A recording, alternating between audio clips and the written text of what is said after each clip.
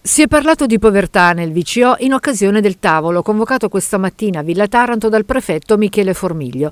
Si tratta del terzo incontro sul tema organizzato. Presenti i rappresentanti dei comuni di Verbania, Domodossola e Omegna, la Caritas, i consorzi dei servizi sociali e associazioni. L'iniziativa va nella direzione della promozione della coesione sociale, spiega Formiglio, un aspetto al quale ho da sempre dato particolare attenzione. Specialmente è importante in questo momento, con la recente crisi sanitaria che ha avuto grosse ripercussioni e l'inattesa guerra scoppiata in Europa.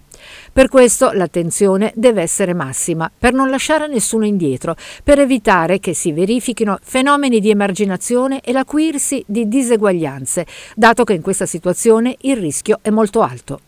Il prefetto si dice soddisfatto del lavoro svolto. Trovarsi tutti a un tavolo è un'occasione per ciascuno di illustrare le proprie attività, ma allo stesso tempo di creare collaborazioni ed evitare sovrapposizioni di attività e allo stesso tempo per individuare le tematiche che meritano più attenzione. Le risorse in campo nel VCO sono ampie e credo sufficienti per far fronte alla situazione. Giudizio positivo, quello del prefetto, anche sulla coesione del territorio. Credo che ci sia una grande capacità di risposta da parte del territorio, grande capacità di mobilitarsi per le necessità.